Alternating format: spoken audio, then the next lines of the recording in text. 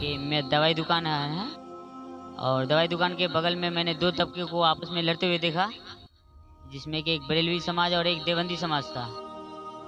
तो बरेलवी कहते हैं कि देवबंदी लोग सही नहीं है और बरेलवी सही है।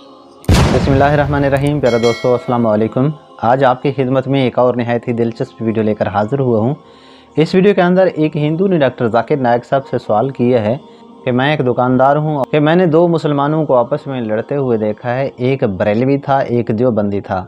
बात अच्छी नहीं है, लेकिन मैं सवाल कर रहा हूँ कि ये आपके अंदर फ़िरके क्यों हैं? जब अल्लाह का कुरान एक है, आपका इस्लाम मुकम्मल तौर पे सही तालीम देता है, हर एक चीज़ मुकम्मल है तो ये फिर आपस में लड़ाइयाँ क्यों हैं? ये फ़िरके क्यों हैं? अगर इस सवाल के पीछे उसकी छुपी हुई बात को अगर जांचें तो उसका मतलब ये है कि अगर मुसलमानों में आपस में इतफाक़ नहीं है, इस्लाम पर मुसलमानों के आपस में फ़िरके हैं तो हम किस तरीके से मुसलमानों, किस फ़िरके को अडाप्ट करें अगर मुसलमान भी हों तो? यानी कौन सा फ़िरका सही है? दोस्तों, वीडियो बहुत दिलचस्प है। डॉक्टर जाकिर नायक साहब ने बहुत खूबसूरत जवाब दिया है। वीडियो को शुरू से लेकर आखिर तक ज़रूर देखिएगा। अपनी कीमती राय का इजहार कमेंट बॉक्स में भी ज़रूर कीजिएगा। दोस्तों, अगर आप हमारे चैनल पर नए हैं तो हमारे चैनल को सब्सक्राइब कीजिएगा, साथ ही बेल आइकन को भी ज़रूर प्रेस कीजिएगा, ताकि नई आने वाली वीडियोस का नोटिफिकेशन आपको बर वक्त मिलता रहे। तो वक्त ज़ाया किए बगैर चलते हैं वीडियो की तरफ़। मेरा सवाल ये है कि मैं दवाई दुकान आया है, और दवाई दुकान के बगल में मैंने दो तबके को आपस में लड़ते हुए देखा, जिसमें कि एक बरेलवी समाज और एक देवबंदी समाज था। तो बरेलवी कहते हैं कि देवबंदी लोग सही नहीं है और बरेलवी सही है। इसका बुनियाद क्या है जड़ क्या है मुझे उसकी जानकारी चाहिए। सवाल थोड़ा डिफ़िकल्ट है। भाई साहब ने कोई डिफ़िकल्ट सवाल कहा है लेकिन जवाब बहुत आसान है। सवाल डिफ़िकल्ट है लेकिन जवाब आसान है। जिसके कारण आपका विरोध भी हुआ। मैं विरोध करो क्या नहीं मैं इंशाल्लाह उसके ऊपर आऊँगा।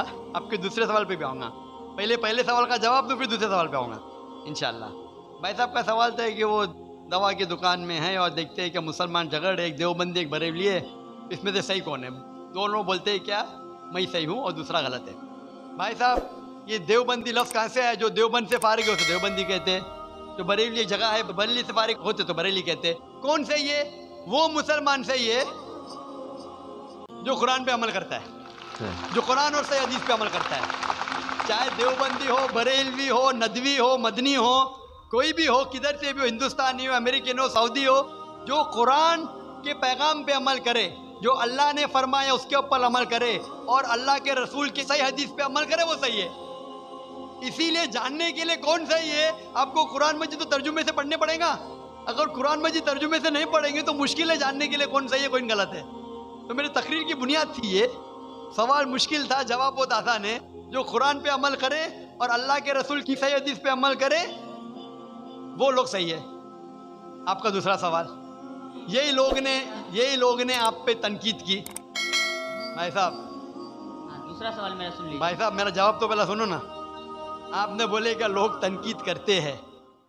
एक उसूल है कि जो भी मशहूर है जो भी मशहूर है उसके ऊपर लोग तनकीद करेंगे दुनिया में सबसे बेहतरीन इंसान कौन?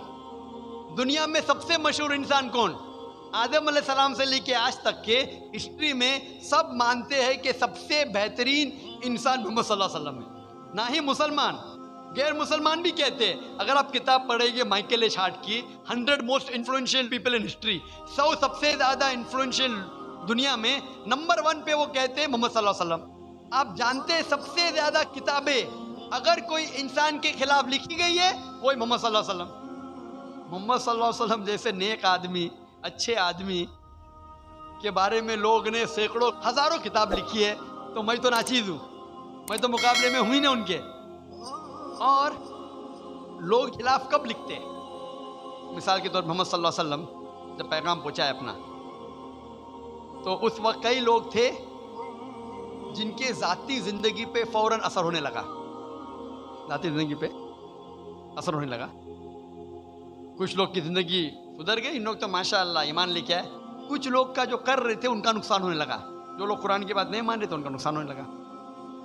तो जो लोग का नुकसान होने लगा, वो लोग खिलाफ बात करने लगे। तो आप देखेंगे, जो भी मशहूर इंसान है, मैं नहीं कहता हूँ, मैं मशहूर हूँ। मैं तो बात करना भी नहीं जानता था, बचपन में हकलाता था। बात करते करते अल्लाह के राह में दावत देने की वजह से अल्लाह ताला ने इस मकाम पे पहुँचाया। ना ही मैं अपने आप को आलिम कहता हूँ, मैं तो तालिब इल्म कहता हूँ अपने आप को।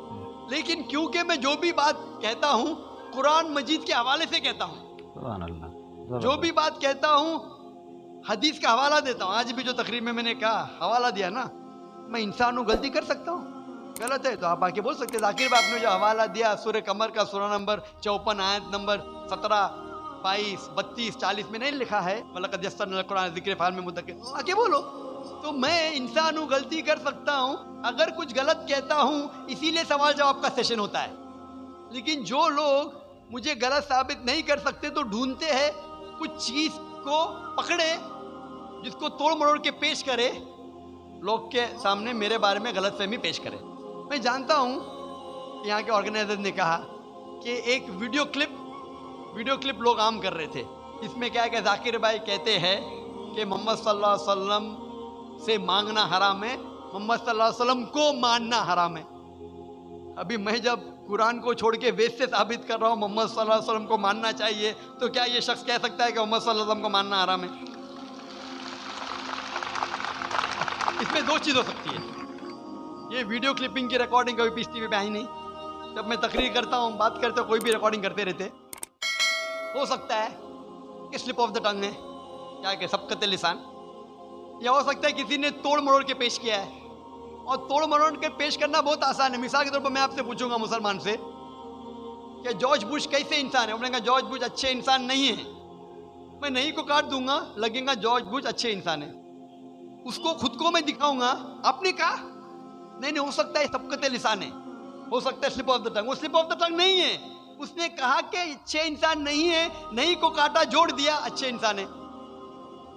तब समझ रहे बहुत आसान है मीडिया मीडिया टेक्नोलॉजी तो इस तरीके से कई क्लिपिंग फ्लोट हो रहे मार्केट के अंदर, कि जाकिर भाई बिन लादिन का साथ दे रहे अरे कब साथ दिया? आप YouTube पे जाएँगे तो आपको क्लिपिंग मिलेंगी, जाकिर मस्जिद से जूते चोरी कर रहा है। जाकिर मस्जिद से जूते चोरी कर रहा है। अभी कोई आदमी सूट पहन के मेरे, अभी शेरवानी पहना माशाल्लाह। सूट पहन के एक्टिंग करके तो ये लोग अगर खुल्लम खुल्ला सामने आके सवाल का मौका आमतौर पे मजहबी तकरीर में खुल्ला पूछने का किसको मौका कहाँ रहता है? होता है तो चिट से। मैं पसंद करता हूँ बहु पूछो। मैं मैं इंसान हूँ गलती कर सकता हूँ। गलती करूँगा तो बोलूँगा, माफ़ करना भाई, इंसान हूँ मैं थोड़ी कहता हूँ, मैं फरिश्ता हूँ। मैं कभी कहा भी नहीं मालूम हूँ। अगर मेरे तकरीर में कुछ गलती है तो आप आके बोल सकते हैं, जाकिर भाई, आप जो कुरान का हवाला दिए गलत है, ऐसे मानी नहीं। अगर सही होगा तो मैं कहूँगा, भाई, सही आपको गलत फहमी है। अगर मैं गलत पे हूँ तो बोलूँगा गलती माफ़ी जाऊँगा लेकिन ये वीडियो क्लिपिंग तोड़ मरोड़ करके पेश करना उसी तरीके से मोहम्मद वसल्लम के खिलाफ हज़ारों किताबें हैं। हज़ारों किताबें हैं उनके खिलाफ। तो मैं कोशिश कर रहा हूँ कि अल्लाह सुबह ताला का पैगाम पेश करूँ। लोगों को कुरान के करीब लेके आऊँ। सही हदीस के करीब लेकर जो लोग चाहते हैं कि इंसान कुरान के करीब ना आए सही हदीस के करीब नहीं आए तो वो लोग ऐसे हरकत कर रहे हैं।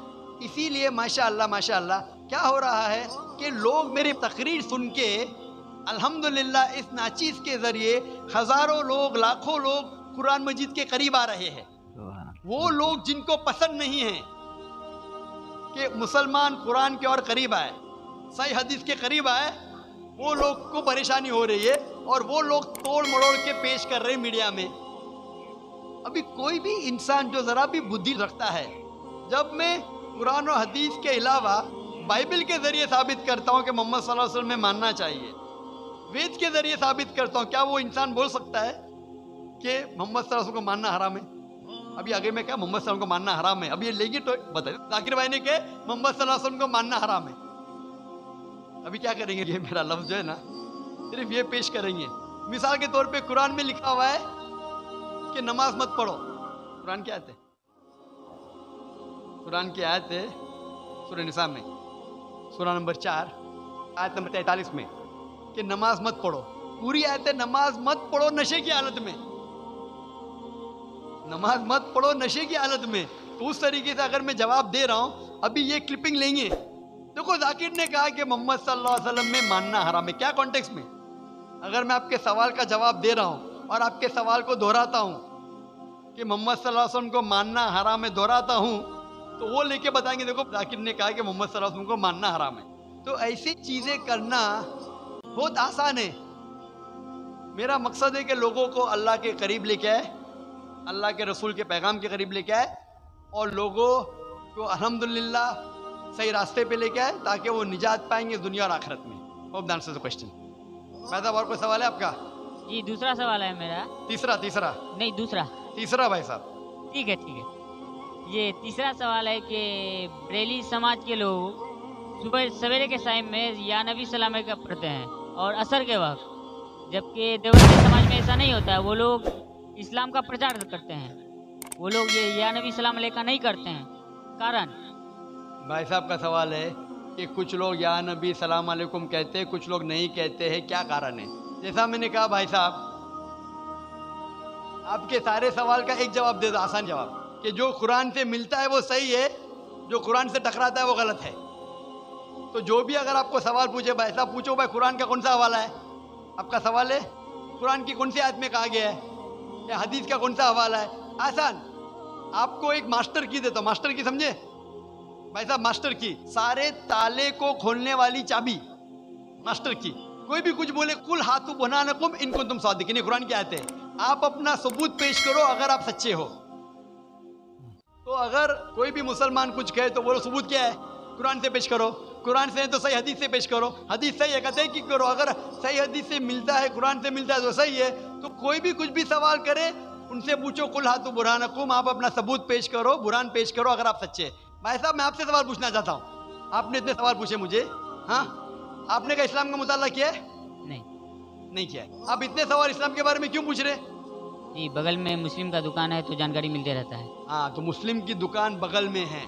बगल के मुस्लिम ने आपको भेजा होगा ये पूछने के लिए। नहीं नहीं नहीं, गलत बात है। गलत बात है। आप खुद पूछना चाहते हैं। तो भाई साहब आप इतनी तहकीक कर रहे बरेलवी देवबंदी। भाई साहब आप कुरान को तर्जुमे से क्यों नहीं पढ़ते? वो बात नहीं आज बहस चल रहा था दो ही गुट में। बिल्कुल सही तो तो मैं चुपचाप सुन रहा था। हाँ तो अभी आप और चुप- मैंने सोचा आपसे आके क्वेश्चन पूछूँगा। तो जवाब मिल गया आपको ना कि कुरान मजीद सबसे बेहतरीन किताब है जानने के लिए क्या हक है क्या गलत है? समझे अपना तो मेरी दरख्वास्त है आपसे भाई साहब कि आप कुरान मजीद का तर्जुमा पढ़िए आपको डायरेक्ट सही चीज़ मिलेंगी। ना बगल वाले से पूछिए ना अपने बगल के मुसलमान से पूछिए डायरेक्ट कुरान मजीद का तर्जुमा पढ़िए हिंदी जानते हिंदी में पढ़िए जो जबान जानते बंगाली जानते बंगाली में पढ़िए उसके ऊपर अमल करो, आपको इस दुनिया और आखिरत में फ़ायदा होगा। तो दोस्तों, आपने मुकम्मल वीडियो देखी, उम्मीद है वीडियो आपको पसंद आई होगी। वीडियो के अंदर डॉक्टर जाकिर नायक साहब ने हमारे जो मसलिक हैं, हमारे फ़िरके हैं, उनके बारे में मुकम्मल तफसील के साथ भाई को जवाब दिए, तीन सवाल उसने किए, तीनों सवाल के तफसील के साथ जवाब दिए। वीडियो के अंदर बहुत अच्छी मालूम थी, मुझे भी बहुत पसंद आई। दोस्तों, वीडियो आपको कैसी लगी? कमेंट बॉक्स में अपनी राय का इजहार ज़रूर कीजिएगा। अगर वीडियो पसंद आई है तो वीडियो को लाइक करके चैनल को ज़रूर सब्सक्राइब कीजिएगा। साथ ही बेलाइकन को भी ज़रूर प्रेस कीजिएगा ताकि नई आने वाली वीडियोज़ का नोटिफिकेशन आपको बर वक्त मिलता रहे।